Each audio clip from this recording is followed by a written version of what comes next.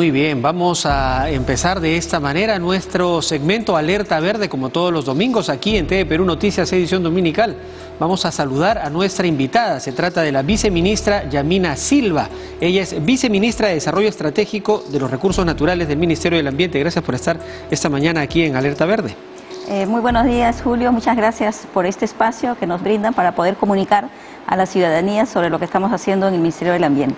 Y algo que nos llama mucho la atención y creo que es muy importante que todos los peruanos se enteren y además aprovechen este recurso es esta campaña Apachicuy que vienen desarrollando. ¿Cuál es el propósito de esta iniciativa?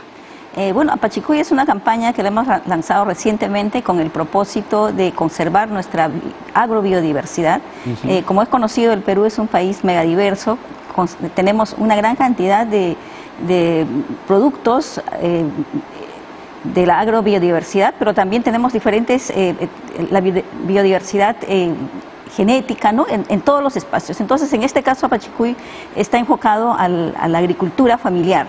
Eh, en, la, en las zonas andinas realmente eh, la agricultura se desarrolla de manera familiar, ¿no? Eh, en espacios pequeños, pero que también se producen estos productos que son tradicionales, que son productos ancestrales, que vienen con una tradición y que se tienen que sembrar año a año. ¿no? Las semillas, a diferencia quizás de los bosques, que simplemente están en pie y se conservan, la, agricultura necesita sembrarse, ¿no? Entonces todos los años tenemos que sembrar, cultivar, cosechar y guardar las semillas para luego eh, producirlas el siguiente año.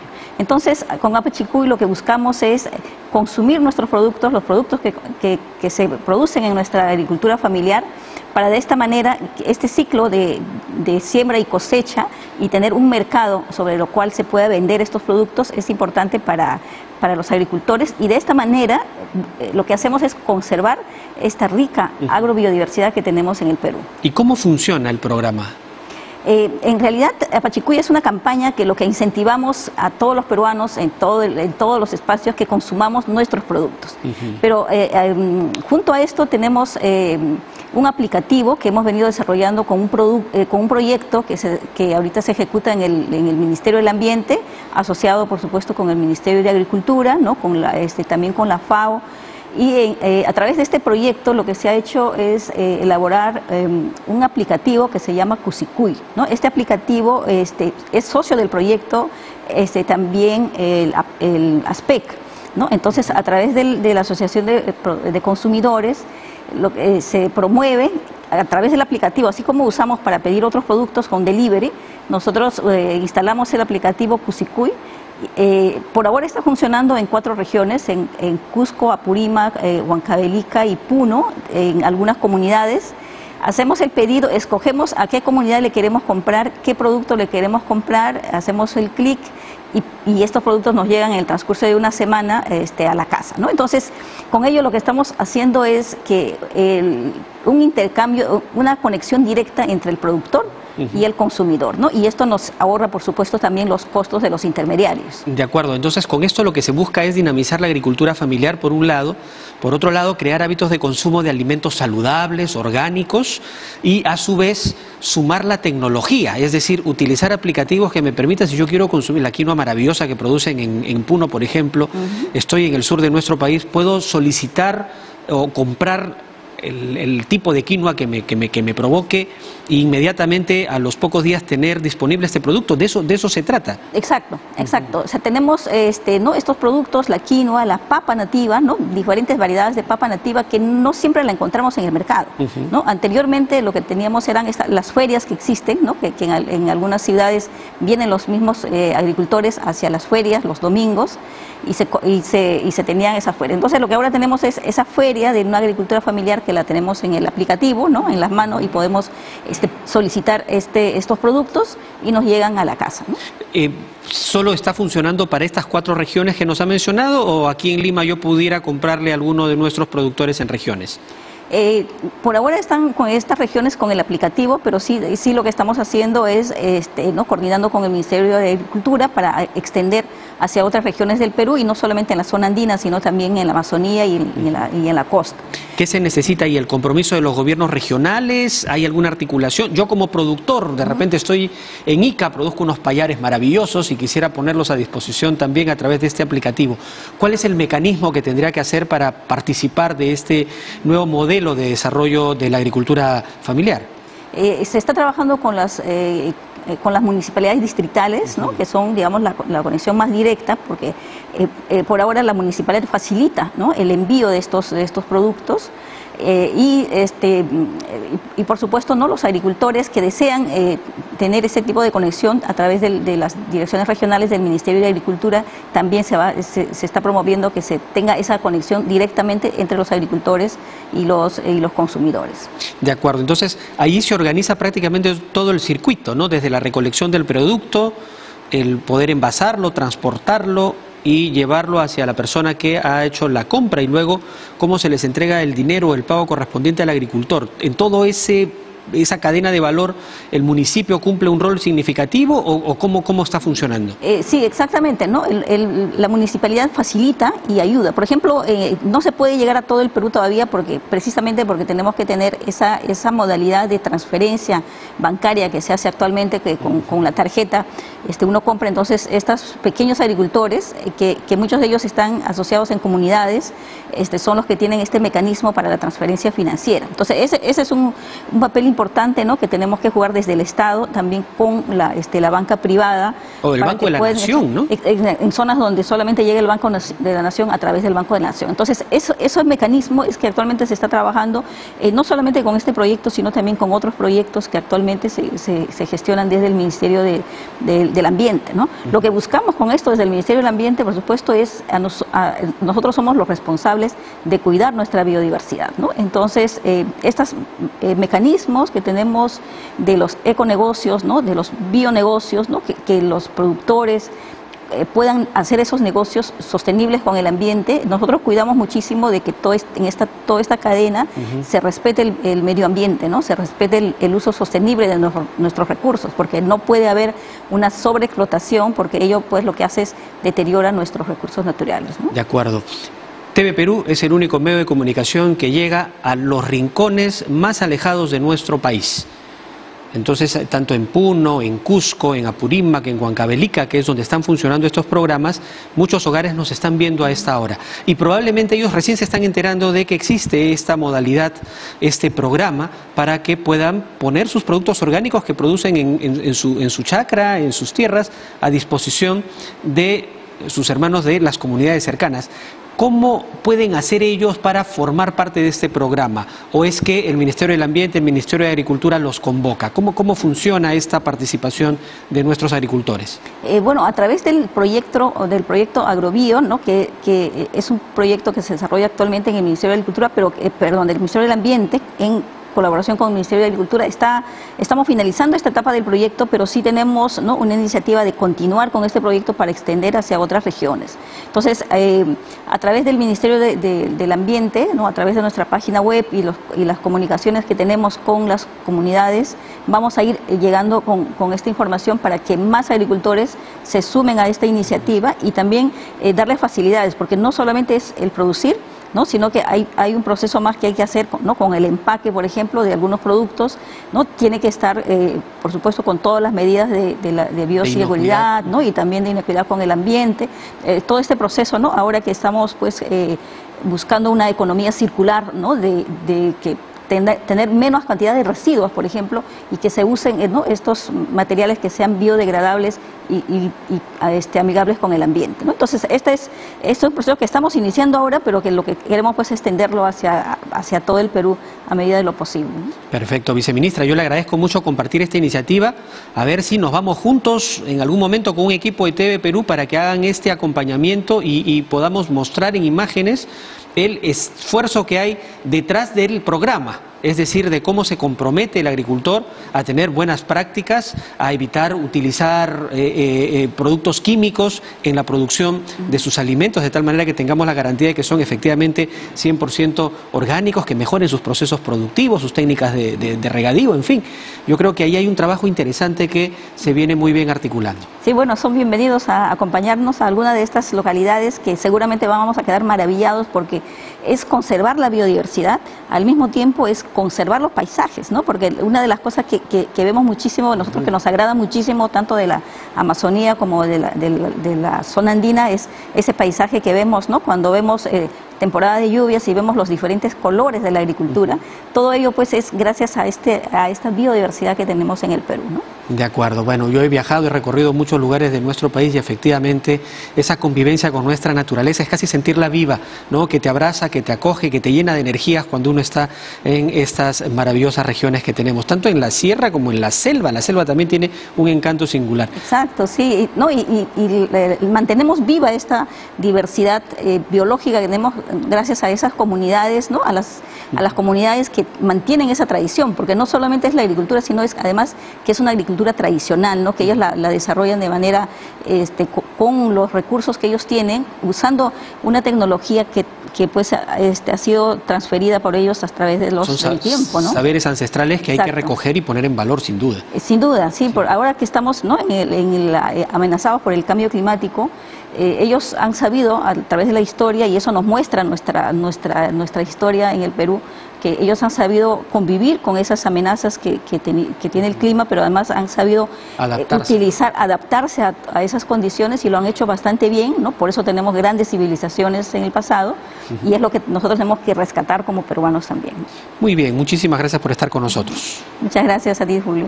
Yamina Silva, viceministra de Desarrollo Estratégico de Recursos Naturales, ha estado compartiendo con nosotros estas iniciativas que desde el Ministerio del Ambiente, de la mano con el Ministerio de Agricultura, se vienen implementando en las regiones de nuestra nuestro país. Pero hoy se, celebra el Día Internacional Libre de Bolsas de Plástico. A propósito de este día, tenemos un informe sobre esa actividad que desarrollamos las personas, la contaminación que producimos mundialmente al descartar sin conciencia las bolsas plásticas y cómo además terminan afectando incluso nuestros océanos, nuestro mar. Veamos el informe.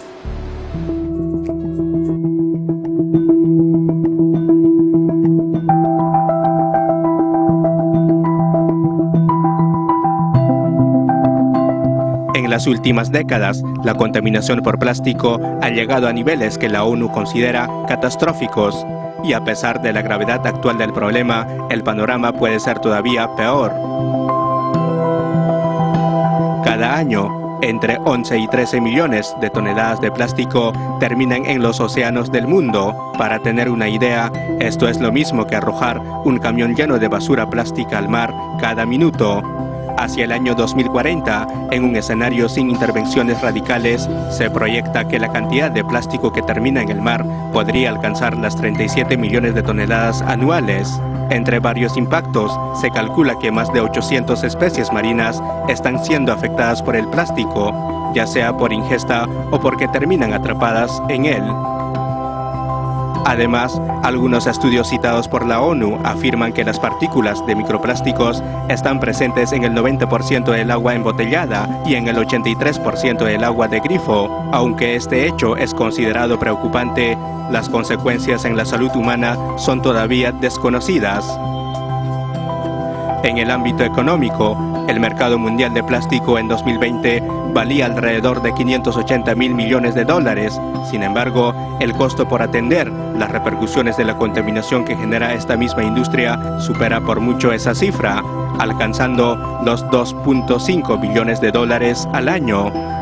El panorama es incluso más preocupante cuando se considera que en la actualidad menos del 10% del plástico se recicla a nivel global. Además de terminar en el océano, gran parte de este material es incinerado, generando gases contaminantes o se vierten en lugares inadecuados. En el caso de los plásticos, sin embargo, la batalla no está perdida. Propuestas de políticas validadas por la ONU afirman que es posible reducir en un 55% la producción de plástico virgen y en cerca de 80% la cantidad de plásticos que llegan al mar.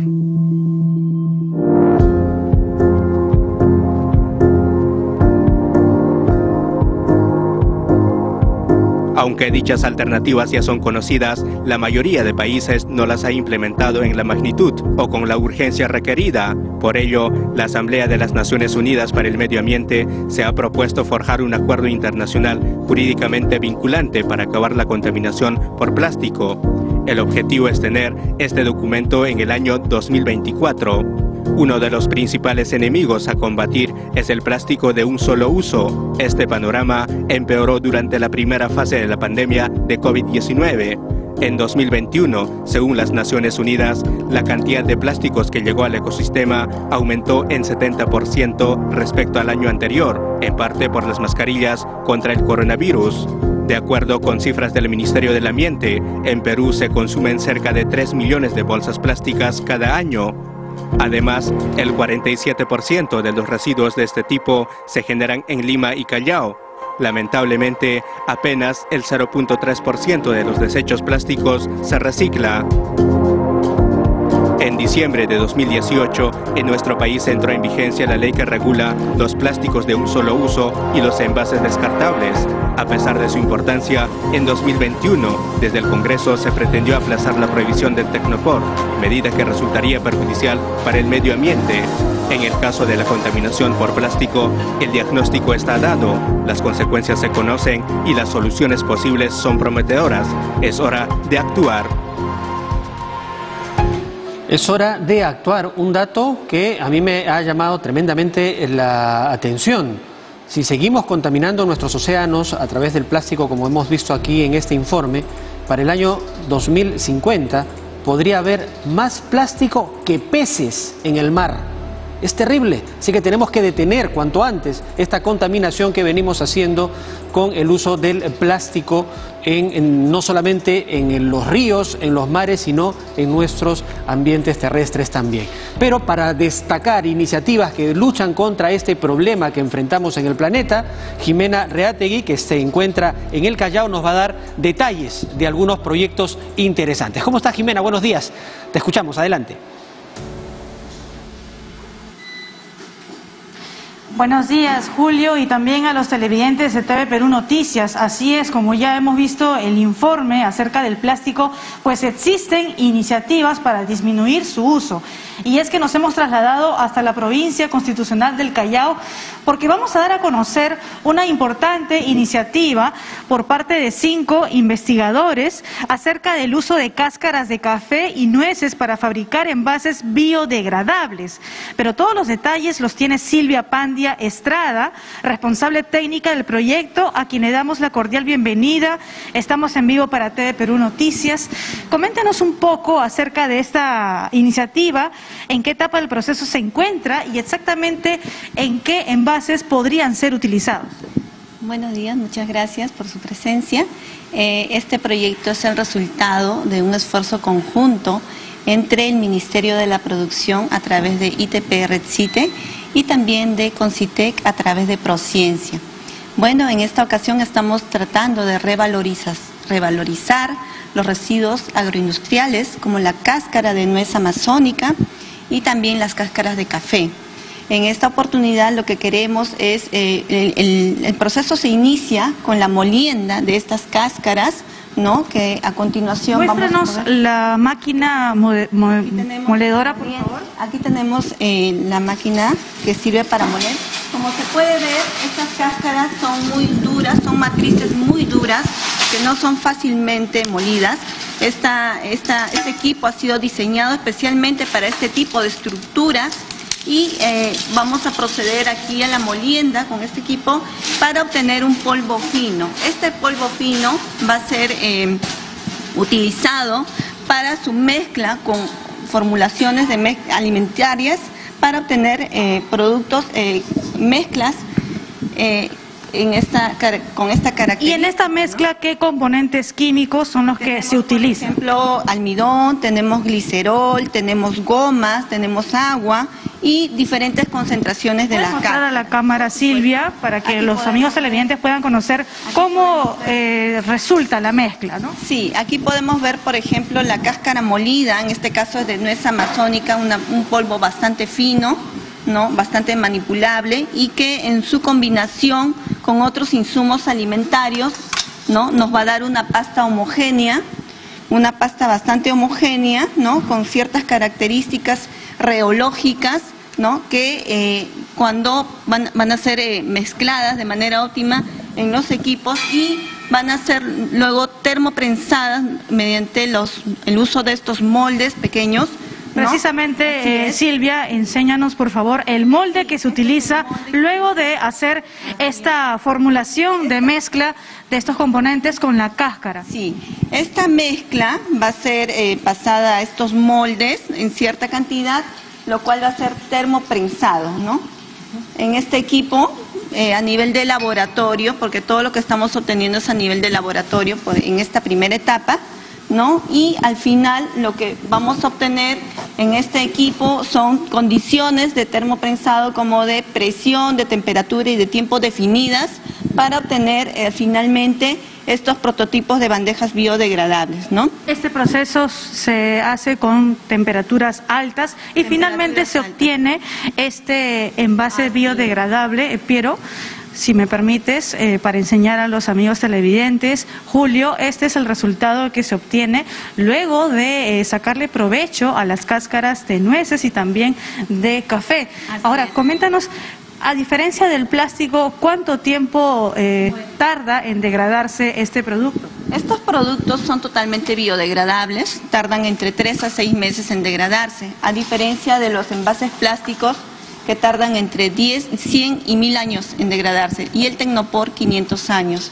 Es una diferencia bastante abismal y lo que apuntamos nosotros es a ofrecer alternativas al plástico común. ¿Para qué? Para que podamos usarlo, por ejemplo, eh, como envases en productos secos, en snacks, por ejemplo, ¿no? Hasta en fuentes también, para las comidas. ¿no? Así es, estos son prototipos, ¿no? Son productos que nosotros diariamente utilizamos y que podemos emplear ¿no? A diferencia de estos plásticos que, por ejemplo, estos son frutos, estos son frutos como los arándanos, ¿no? Que pueden ser reemplazados fácilmente en su uso en la vida cotidiana, ¿no? Pero que a diferencia del plástico y el tecnopor, no estamos dañando el ecosistema acuático ni el medio ambiente. Ahora, también quisiera conocer, Silvia, eh, ¿en qué se diferencia, por ejemplo, este envase eh, que tiene un color más claro a diferencia de ese que tiene un color oscuro? Claro, la diferencia eh, se basa únicamente en la concentración de cáscara que estamos empleando.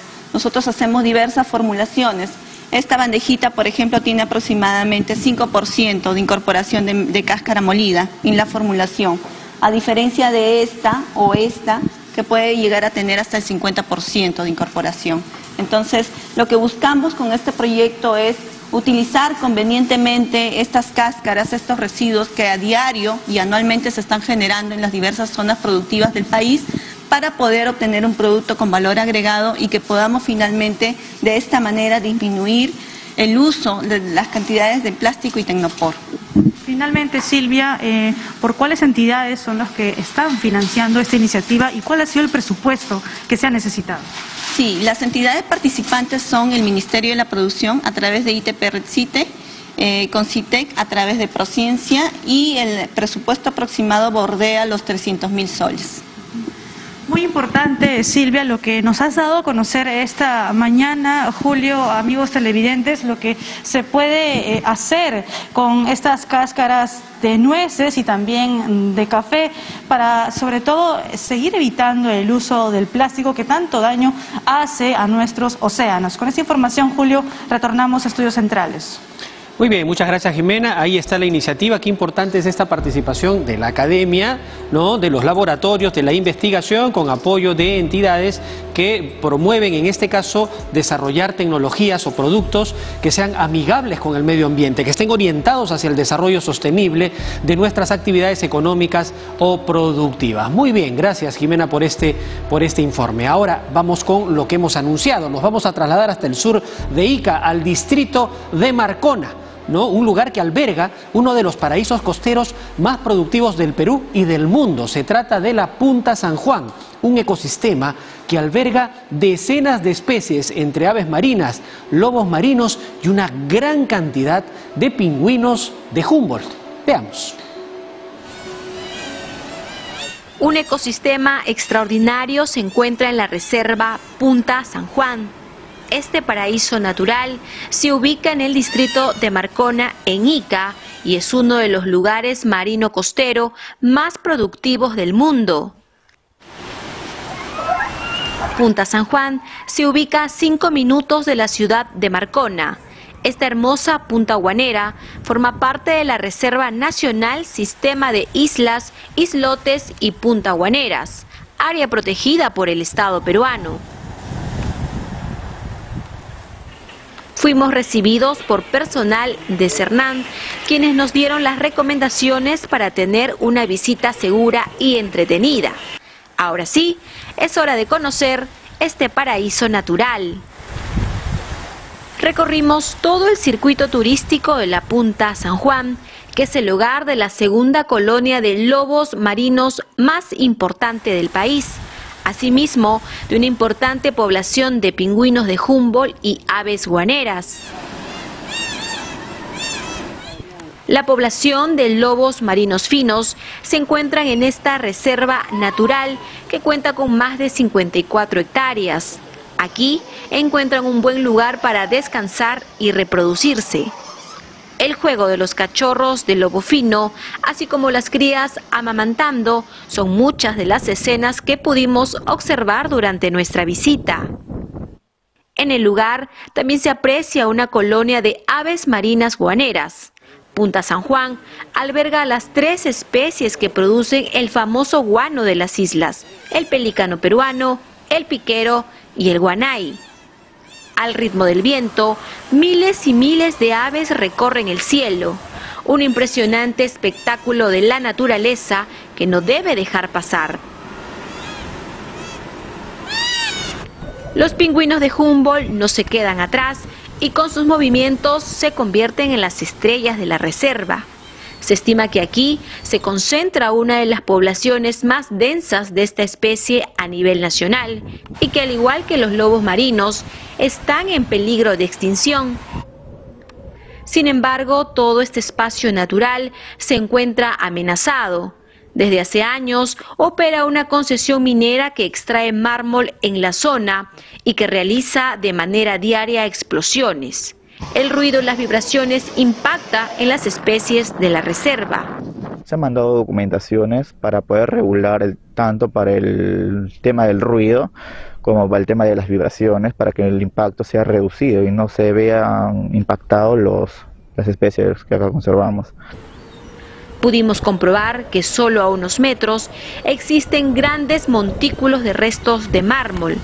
Esta zona de desmonte que crece cada vez más pone en alerta los límites que deben existir en un área protegida por el Estado. Qué maravillosos estos pingüinos de Humboldt que hay ahí en la punta San Juan. Bien, bueno, ahora a continuación les vamos a presentar el saludo de nuestros televidentes. En esta ocasión llegan desde Cabo Blanco en Piura.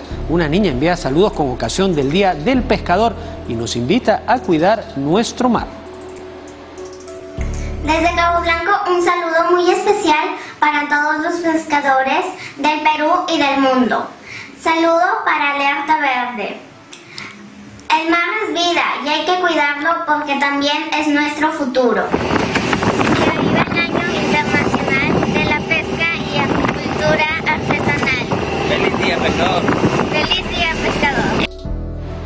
Ahí está el saludo por el Día del Pescador. Bien, ustedes nos pueden hacer llegar sus videos y también información que podemos dar a conocer a todos los peruanos a través de nuestro segmento Alerta Verde. El correo aparece en pantalla, si no se los cuento, alertaverde.irtp.gov.pe. Bien, hasta aquí nuestro segmento.